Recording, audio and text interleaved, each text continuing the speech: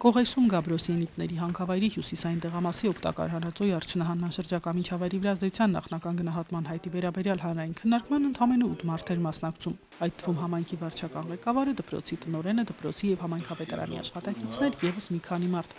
Վարչական ղեկավարի խոսքով բնակիչներին պատշաճ իրազեկել են հանրային լսման մասին։ Կարծում է բոլորը զբաղված են գյուղատնտեսական աշխատանքներով։ Կողեսի Գաբրոսյանիկների հանքավայրի արդյունահանման երկրորդ հանրային լսումը տեղի ունեցավ ապրիլի 3-ին Լորի Բերթամանքի Կողես բնակավայրի վարչական ղեկավարի նստավայրում։ Գյուղում ամեն դեպքում գյուղի մարդուն իր վերքից չես կարող կտրես, հետո իմ իմ մոտեցումս այդ մարդկանց ներգրավվածության իհարկե շատ ցանկալի է, որ կոնե գյուղի ամեն տնից մի ներկայացուցիչ լիներ, դա հրաշալի բան կլիներ, բայց պետք է մի քիչ իրանք էլ ցանկանան։ Եթե տեղեկացված են, եթե մարդը չի ուզում գա իրան համոզելով բերեսել, դա արդյունավետ չի իմ կարծիքով։ Կողեսի Գաբրոսյանիտների հանքավայրը շահգործելու հայտը ներկայացրել է Հերուհուշ սահմանափակ պատասխանատվությամբ ընկերությունը, նախատեսվում է հանք շահգործել բաց եղանակով 20 տարի ժամկետով։ Տեղամասի հետախուզված տարածքը զբաղեցնում է շուրջ 1.4 հեկտար մակերես, նախագծվող բացանքի մակերեսը 1.99 հեկտար։ Վանաձորն արտադրամաս ունեմ, քարի արտադրամասա։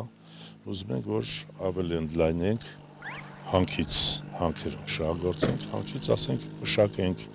բարդուր կեղնի, ասենք, նայած սալիկներ կլի, գերեզմանի հուշակարեր կեղնի, աշխատողներ կեղնի մի 4-5 հատ, ասենք, բանվորներ կեղնի։ Ընկերության ղեկավարի խոսքով պատրաստ են համայնքի սոցիալ-տնտեսական զարգացման ծրագրերում ներդրումներ կատարել, թե կոնկրետ ինչ ծրագրեր դեռ չեն քննարկել վարչական ղեկավարի հետ։ Պարապեն չի, գործ չկա, բան չկա։ Չի կաշխատեն էլի։ Իրականում վտանգները շատ մեծ են։ Ես ինքս հիմա աշխատում եմ նախագծի վրա աշակերտներիս հետ, խումբ ենք ստեղծել, ուզում ենք հասկանանք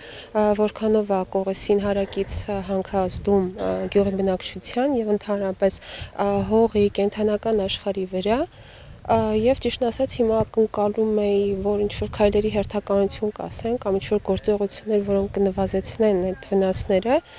բայց երևի սպասենք հաջորդ լսումներին ավելի մանրամասն կստանանք մեր հարցերի պատասխանները։ Արտանետումները իրենք արդեն վնասակար ինչ-որ նյութեր են, չէ, իրենցից ենթադրում ու դրանք մենք այստեղ շնչում ենք, չէ, դրանք կարող են առաջացնել շատ հիվանդություններ, ինչպես նաև դա կարող է ինձ թվում է բերքի վրա ազդել։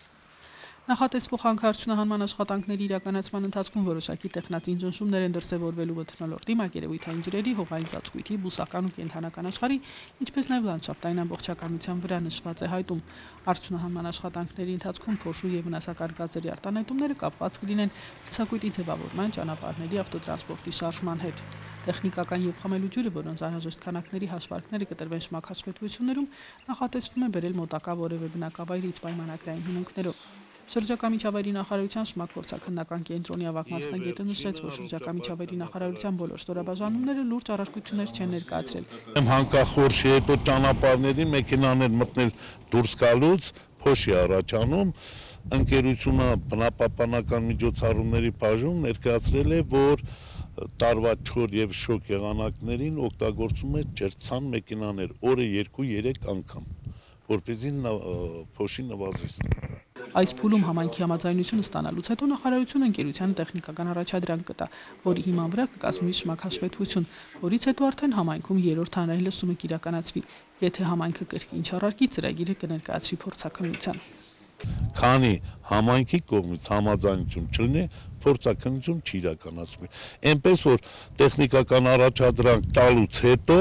մեր գործը նախնական փուլի ավարտված է։ Երբ շմակը ներկայացրեցին, համայնքը տվեց իր դրական եզրակացությունը նոր փորձականություն իրականացվի։ Փորձականությունը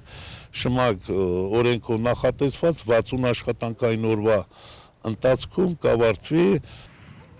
Քաղաքացուցայինը լոռու մարզի լոռի Բերթամանքի կողես բնակավայրից։